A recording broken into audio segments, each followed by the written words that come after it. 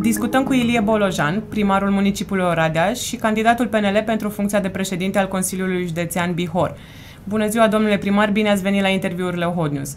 Bine v-am găsit, mulțumesc pentru invitație. Cu drag. Uh, Oradea s-a dezvoltat spectaculos în ultimii 10 ani și acest lucru s-a întâmplat și datorită dumneavoastră. De ce nu mai candidați la primărie ca să continuați proiectele pe care le-ați început? Un oraș nu depinde doar de o primărie, sunt și alte instituții de care depinde dezvoltarea acestuia sau a județului. Una din aceste instituții este și Consiliul Județean. La noi, Consiliul Județean gestionează aeroportul, gestionează, de exemplu, sistemul de transport integrat al uh, liniile de autobuze din tot județul, are posibilitatea de a intra în parteneriat cu primăriile pentru a genera proiecte de dezvoltare, poate atrage fonduri europene exact ca o primărie de reședință de județ și, din păcate, în aceste domenii de responsabilitate, Consiliul Județean nu a făcut ceea ce trebuia și nu a colaborat, de exemplu, cu primăria Oradea. Pentru ca cei doi cai importanți ai județului să tragă la aceeași căruță, am luat decizia să candidez la președinția Consiliului Județean, în așa fel încât să schimb lucrurile și la Consiliul Județean. De multe ori, până acum, consiliile județene s-au dovedit a fi niște structuri mari, supradimensionate, uneori ineficiente. Dumneavoastră v-ați numărat printre primarii care în 2019 cereați desfințarea lor. De ce v-ați răzgândit acum? Nu m-am răzgândit. Cele mai ineficiente structuri administrative din ultimii 30 de ani s-au dovedit într-adevăr consiliile județene, în primul rând pentru că au luat decizii eminamente politice și 90% din activitatea lor a fost parte politică și doar 10% administrație. Dar asta nu înseamnă că aceste abordări nu pot fi schimbate și că un Consiliu Județean nu poate deveni un actor important nu doar în împărțirea clientelară de fonduri, ci în dezvoltarea unui județ, în parteneriatul cu primăriile și într-un facilitator pentru locuri de muncă în tot județul. Și aceasta este rațiunea pentru care am luat decizia să candidez. Cu ce proiecte veniți dacă veți fi ales președinte de Consiliul Județean? E nevoie de mai mulți bani pentru investiții în județ, uh, ceea ce se rezolvă prin două lucruri. În primul rând, printr-o echipă de proiecte care să atragă fonduri europene puternică, mai mulți bani europeni, deci atrași, care să extindă rețelele de utilități în tot județul, apă, canalizare, rețele de gaz, uh, care să aducă drumurile într-o stare mai bună, deci modernizarea de drumuri, și care să financeze extinderea de parcuri industriale în zonele care sunt situate la peste 40-50 de km de Oradea, de unde posibilitatea de navetă este mult mai mică. Și în felul acesta, zonele mai îndepărtate nu se vor depopula. De asemenea, o altă sursă de, de bani este uh, cheltuirea eficientă a impozitelor și taxelor care se încasează de la Bihoren. Asta presupune o reducere de personal la Consiliul Județean, o folosire mai bună a banilor și în fiecare an milioane de euro vor fi direcționate către aceste proiecte de investiții. De asemenea, o politică atractivă de zboruri de pe aeroportul din Oradea către destinații externe și o frecvență mai bună către București este absolut necesară, pentru că un oraș și un județ conectat se dezvoltă mai mult decât județele izolate. De asemenea, nivelul de salarizare crește direct proporțional cu conectivitatea unui județ față de zone care sunt dezvoltate, cum este vestul Uniunii Europene. Cât de importantă credeți, credeți că este dezvoltarea regiunii pentru dezvoltarea orașului? Uh, practic, uh, uh, totdeauna capitala de județ funcționează ca o locomotivă. Dar dacă județul este ca un balast uh, în spatele capitalei, atunci totul este tras în spate. Prin urmare, politica de dezvoltare a unui județ trebuie să se bazeze pe o dezvoltare de tip multipunct, pe punerea în valoare a lucrurilor care creează avantaje competitive. De exemplu, avem Munții Apuseni, zona de turism este total uh, neexploatată, uh, avem defileul Crișului repede, avem alte uh, posibilități de a dezvolta județul și în felul acesta, deci susținând dezvoltarea în mai multe puncte, regiunea poate colabora cu reședința de județ, cu Oradea, pentru dezvoltarea întregului județ. E apoi vorba de forța de muncă care este disponibilă în județ, uh, cu toate că, de exemplu, anul trecut uh, toate uh, spațiile publicitare din Oradea erau pline de anunțurile de angajare ale companiilor care nu-și găseau angajați, totuși aveam 8.000-9.000 de șomeri, ceea ce este o fractură logică, dar era și o explicație, și anume faptul că nu puteau să facă naveta, nu existau condiții de navetă și asta presupune uh, intervenția pentru ca să existe uh, curse cu frecvențe mai bune, care să acopere mai bine tot județul, în așa fel încât deci această forță de muncă să contribuie și ea la dezvoltarea uh, județului. Ce proiecte de infrastructură mari trebuie făcute în următorii patru ani pentru dezvoltarea întregului județ?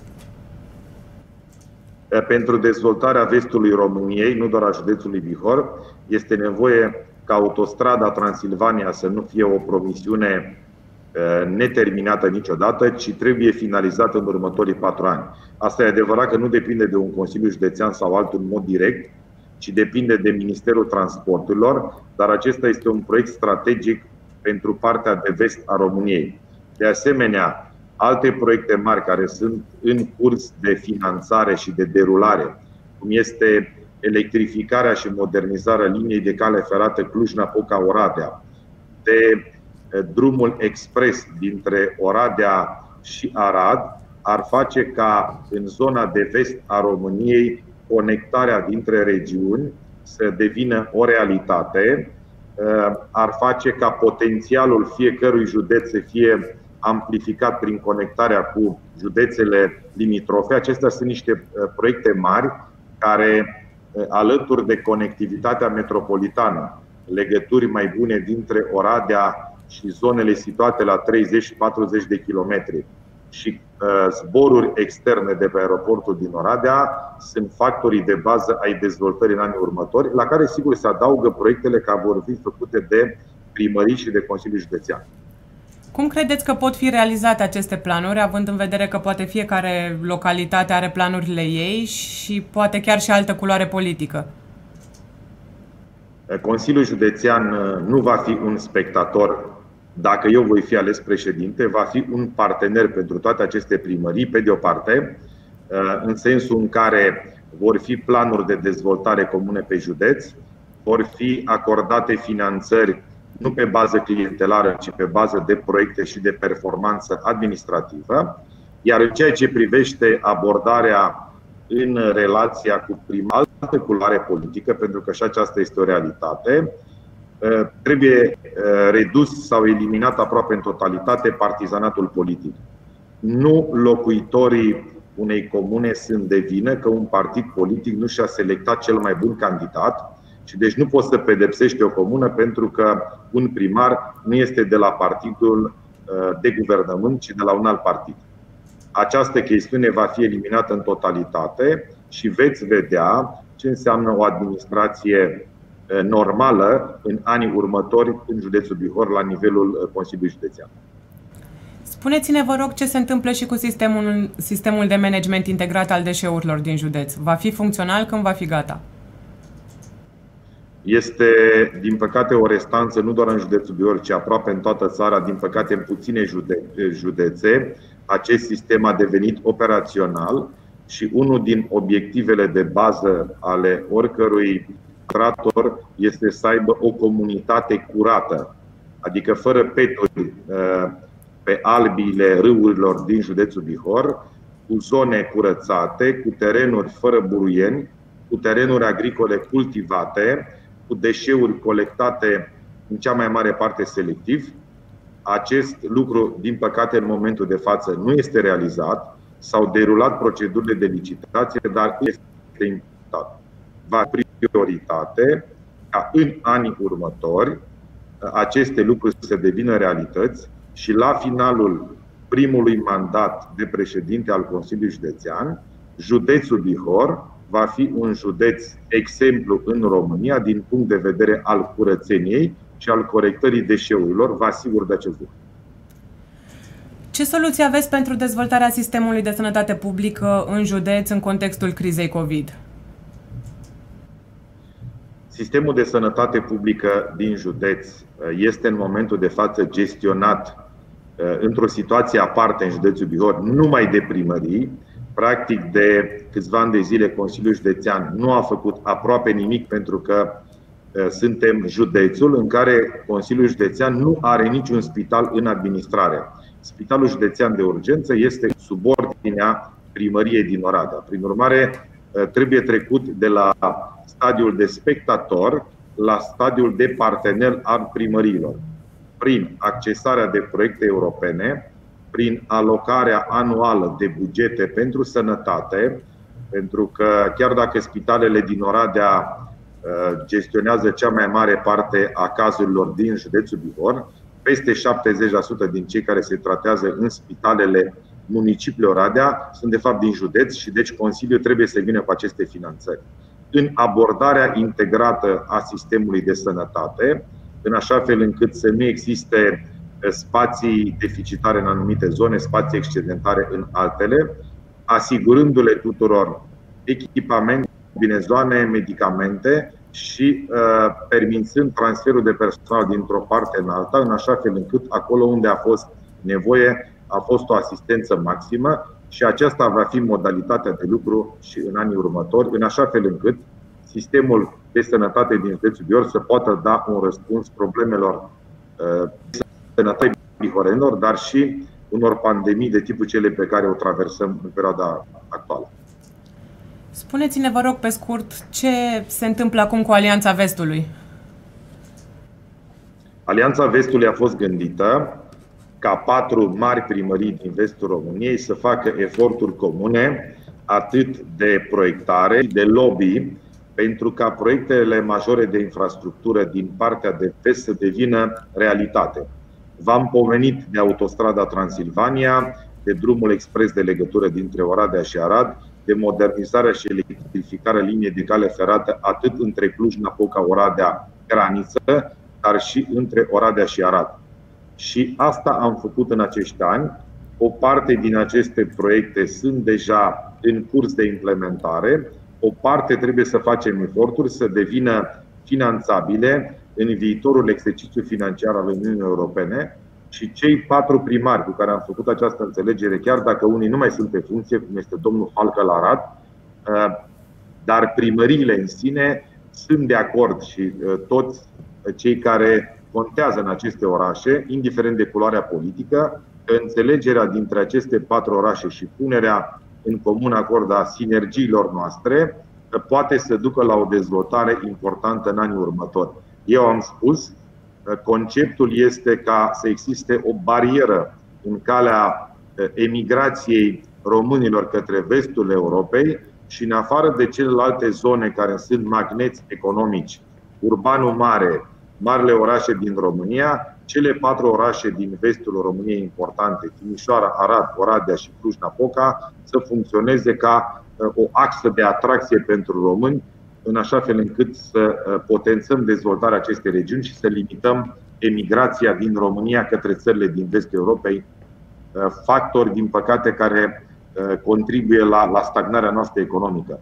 Dacă diaspora română s-ar întoarce în mai mare măsură în țară, dacă competențele pe care le-au câștigat acolo în, în munca dură, pentru că în vest trebuie să lucrezi din greu ca să te menții, ar fi puse în practică în România, sunt convins că recuperarea economică ar fi mult mai rapidă în toată țara. Cum plănuiți să atrageți investiții majore în județ și cât de importantă este infrastructura pentru a atrage investitorii? Întotdeauna investițiile private urmează infrastructura. Nimeni nu o să vină să facă o fabrică într-un câmp plin de bălării în care nu are rețele de apă, de canalizare, de electricitate sau de gaz. Și atunci, există două direcții importante din acest punct de vedere. În Oradea, unde deja există o dezvoltare economică importantă prin parcuri industriale, trebuie să trecem la următorul nivel de dezvoltare și prin parteneriatul dintre Consiliul Județean, Primăria Oradea, Universitatea din Oradea, trebuie încurajată și atrase companii care generează valori adăugate importante, cum sunt cele din domeniul serviciilor pentru companii, cele din sectorul de IT, digitalizare și așa mai departe. În ceea ce privește dezvoltarea în județ în vederea atragerii de investiții, e nevoie ca în cel puțin trei bazine mari. E vorba de bazinul Beiuștei, situat la peste 50 de km de Oradea, zona Bratca, Aleși, tot la peste 50 de km de Oradea și zona Marghita, Valea lui Mihai, să dezvoltăm parcuri industriale, să creăm zone cu scutiri de impozite, în așa fel încât în aceste zone unde avem forță de muncă disponibilă, să relocăm din afara județului sau din Oradea companii către aceste zone, în așa fel încât să existe deci mai multe locuri de muncă și locuri de muncă mai bine plătite și în aceste zone. De asemenea, un sistem de eliberare a autorizațiilor de construcție în județ rapid și care să nu-i țină pe oameni cu lunile, cum se întâmplă din păcate acum, uh, și să nu-i poarte toată ziua bună ziua la Consiliul Județ. Uh, este un factor care va face ca investițiile să se deruleze cu viteză mai mare și făcând acest lucru la Oradea se poate face în câteva luni de zile și în județ și asta va contribui la un indicator mai bun de desfășurare a afacerilor în județul Bihor. Mulțumim frumos! Și eu vă mulțumesc!